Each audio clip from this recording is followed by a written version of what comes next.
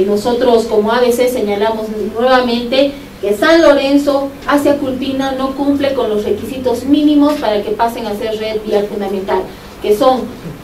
vincular a capitales políticas de departamentos, que no lo hace, vincular con eh, carreteras transfronterizas o, o, puntos o ejes transfronterizos tampoco lo hace, y, está en duda porque no tenemos un diseño final de la rentabilidad y factibilidad de tráfico y de producción agropecuaria, agrícola, turística, de alcance para que sea red vial fundamental.